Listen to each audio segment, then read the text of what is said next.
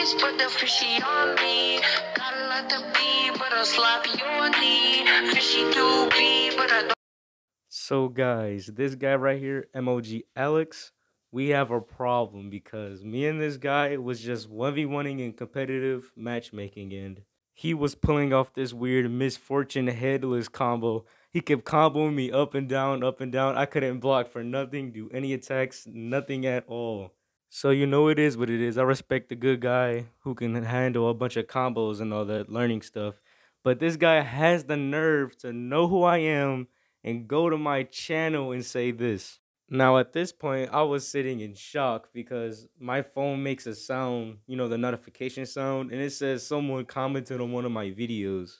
And it was Alex who said something, and I was furious at this point. I wanted to get to his channel and say something first, but he got to me instead and I would see him in matchmaking all the time. We would go against each other every now and then, and he would always beat me. But this time, I think I got pretty far.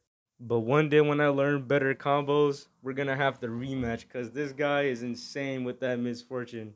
But you know, I'm not gonna be a little sore loser and cry like a baby. So GG to you, Alex. So while I'm already all furious after what happened, I decided to go check out his YouTube channel, and he is a memer. So I guess all's well that ends well because I can respect a good memer. And I checked out some of his videos, and his videos are actually pretty funny. So if you guys like Skullgirls and memes, go check out this guy. I will also leave his YouTube channel link in the description and on the pinned comment. And also, if you want to learn that headless misfortune combo he was doing on me, I'll also leave a link to that because I also saw the video. You're not slick, Alex. I know your skills now.